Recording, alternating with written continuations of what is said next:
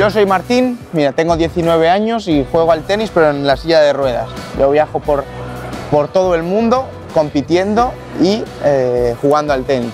Como podéis ver, la silla es muy, muy rápida y solo tiene una diferencia con el tenis de pie y con el tenis de silla. Y es que la pelota puede botar dos veces. Tiene que botar primero dentro del campo y después puede botar en cualquier otro sitio. Los puntos es todo igual, los juegos igual, los sets igual.